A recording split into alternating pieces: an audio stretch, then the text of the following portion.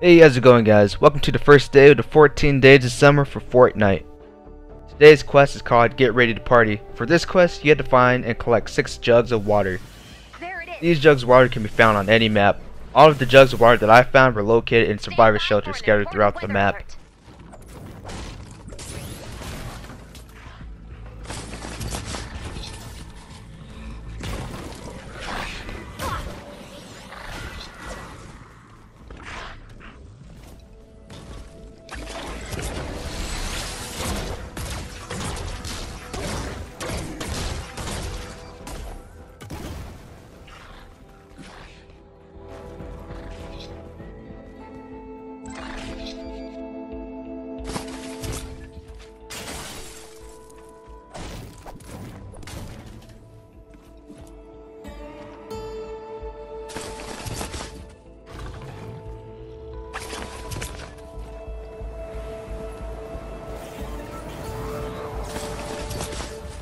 That's the end of this quest. The reward is 250 summer tickets.